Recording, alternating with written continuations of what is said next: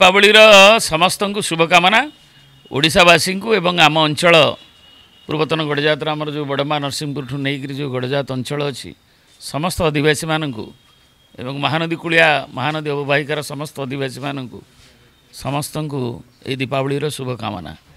ଦୀପାବଳି ଆଲୋକର ପର୍ବ ସମସ୍ତଙ୍କ ମନରେ ଆନନ୍ଦ ଭରି ଦେଉ ସମସ୍ତେ ସମୃଦ୍ଧିରେ ସମସ୍ତଙ୍କର ଆହୁରି ଗୋଟେ ପାଦ ଆଗକୁ ଯାଆନ୍ତୁ ଏତିକି କାମନା କରୁଛୁ। ଦୀପାବଳିର ସମସ୍ତଙ୍କୁ ଶୁଭକାମନା ଓଡ଼ିଶାବାସୀଙ୍କୁ ଏବଂ ଆମ ଅଞ୍ଚଳ ପୂର୍ବତନ ଗଡ଼ଜାତର ଆମର ଯେଉଁ ବଡ଼ମା ନରସିଂହପୁରଠୁ ନେଇକରି ଯେଉଁ ଗଡ଼ଜାତ ଅଞ୍ଚଳ ଅଛି ସମସ୍ତ ଅଧିବାସୀମାନଙ୍କୁ ଏବଂ ମହାନଦୀ କୂଳିଆ ମହାନଦୀ ଅବବାହିକାର ସମସ୍ତ ଅଧିବାସୀମାନଙ୍କୁ ସମସ୍ତଙ୍କୁ ଏହି ଦୀପାବଳିର ଶୁଭକାମନା।